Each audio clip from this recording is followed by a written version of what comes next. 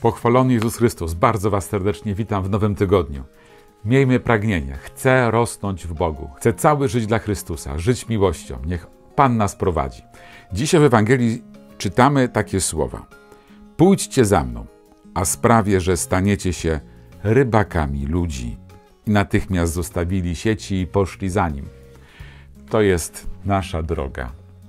Pan Jezus chce, żeby każdy z nas był tym, który łowi ludzi. Każdy. Niektórzy w sposób wyłączny, że mają się tym zajmować, a niektórzy chociaż trochę.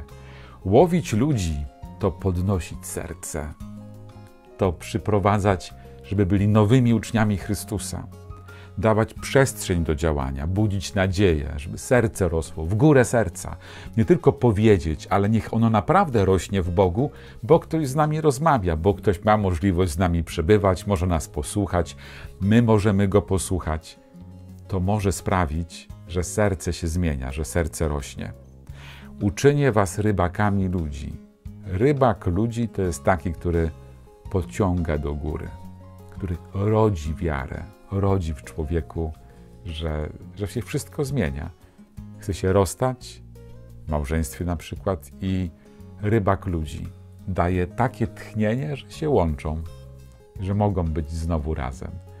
Ktoś chce sobie coś zrobić, e, albo popełnia jakiś błąd, i rybak pociąga w dobrym kierunku. Łowi ludzi dla Chrystusa, łowi, łowi ludzi dla miłosierdzia, dla miłości, dla pojednania. To jest nasze zadanie żebyśmy szli w tym kierunku. Pomyślmy, czy ja chcę łowić ludzi, czy ja chcę to zaproszenie wziąć, czy wystarczy, że jestem sam sobie i tym się zadowolę. Bo może tak być, że wystarczy mi, ja się nawróciłem, chcę żyć poprawnie, żeby wszystko było dobrze. A może Jezus Cię zachęca, żebyś domownikom, współpracownikom, przyjaciołom, w grupie osobom dawał nadzieję łowił ludzi dla Chrystusa, łowił, serca dla Chrystusa, dla miłości. Błogosławię Wam na ten kierunek działania. W imię Ojca i Syna i Ducha Świętego. Amen. Bardzo Wam dziękuję za wysłuchanie tego odcinka. Dajcie kciuk w górę.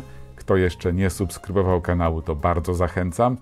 I nowy rok być może jest zachętą, aby udostępnić gdzieś Zoom u siebie na profilach, żeby zaproponować, napisać coś, zaproponować znajomym. E, być może, bo chcemy łowić ludzi. A myślę, że Zoom jest takim łowieniem, dawaniem nadziei, także z tego skorzystajmy. Poniżej są teledyski Mocny w Duchu. Możemy się nimi pomodlić, do czego bardzo zachęcam. Dobrego dnia.